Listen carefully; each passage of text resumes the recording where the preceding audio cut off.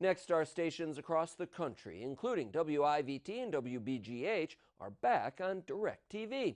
Nexstar Media Group and AT&T, owner of DirecTV, announced a new multi-year retransmission consent agreement that went into effect today.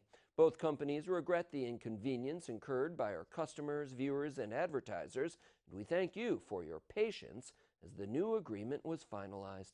Congressman Anthony Brindisi issued a statement today applauding the resolution and the return of the channels to the satellite provider.